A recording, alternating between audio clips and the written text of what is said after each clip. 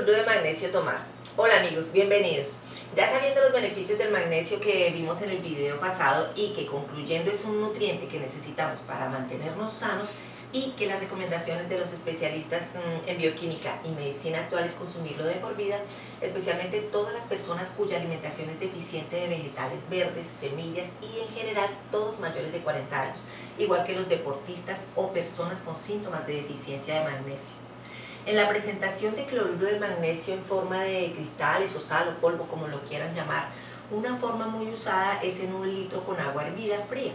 30 a 50 gramos de cloruro de magnesio según la persona y tomar una copa del tamaño de vino tres veces al día, mañana, tarde y noche.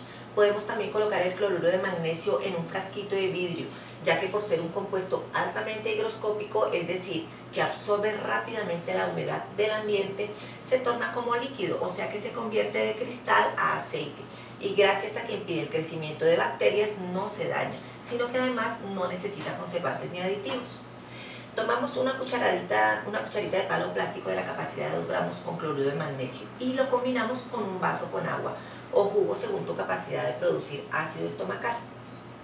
Las personas que tienen mucho ácido clorhídrico que frecuentemente sufren de acidez lo deben tomar en agua para que diluya la acidez ya que recordemos que es un producto alcalino. Y las personas que producen poco ácido clorhídrico lo deben tomar con jugo de naranja, limón, piña, toronja para no tener que gastar el ácido que el estómago necesita para hacer la digestión. El cloruro de magnesio no crea hábito, es un elemento natural sin ninguna contraindicación y es compatible con cualquier otro medicamento simultáneo. La hipermagnesemia de forma oral con el cloruro de magnesio no se da. Lo máximo que ocurre es algo de soltura de estómago por su efecto laxante. En ese caso se toma solo dos veces al día o se baja un poquito la cantidad. Recuerden que cada uno debe aprender a medir su límite de tolerancia con absolutamente todo lo que ingiera. También se consigue el cloruro de magnesio en cápsulas para las personas que no les guste el sabor de la sal o del polvo de magnesio. Bueno amigos, es todo por hoy. Nos vemos en el próximo video.